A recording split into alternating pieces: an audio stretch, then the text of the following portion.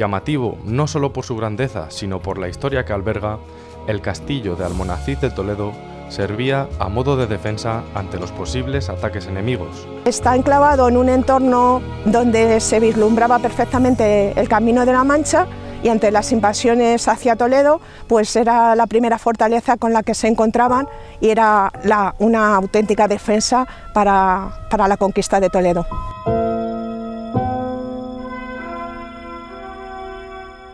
Sin embargo, la colosal grandeza de este castillo viene determinada por su enclave en una línea defensiva estratégica junto a otras dos fortalezas. Sí, desde aquí se ve perfectamente el castillo Peñas Negras de Mora y también el castillo de Mascaraque.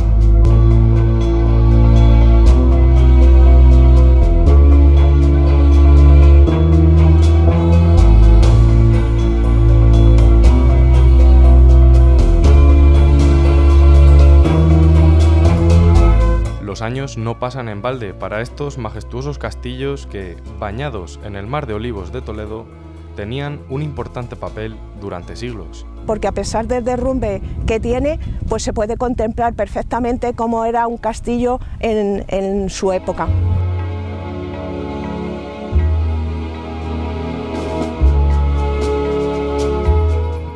Pese a que ya no cumplen con la función con la que fueron construidos, seguirán sirviendo para observar los caminos de la Mancha.